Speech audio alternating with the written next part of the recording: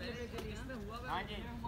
बिल्कुल जी, इस वक्त मैं पिंडी क्रिकेट स्टेडियम में मौजूद हूँ और बात करें पाक वर्सेस ऑस्ट्रेलिया मैच की तो ऑस्ट्रेलिया की टीम बाकायदा तौर पर पाकिस्तान पहुँच चुकी है। आज ऑस्ट्रेलिया की जानब से प्रैक्टिस सेशन में हिस्सा नहीं लिया गया।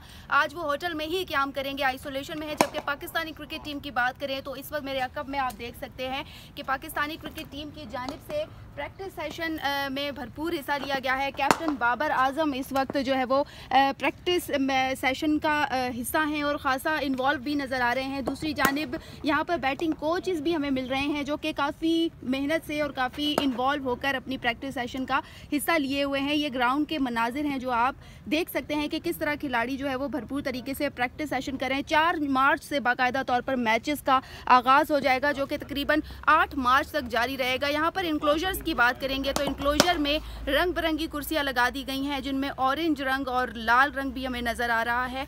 तमाम जो इंक्लोजर्स हैं, उनको काफ़ी रंगो रोगन किया गया है, कुर्सियाँ लगा दी गई हैं।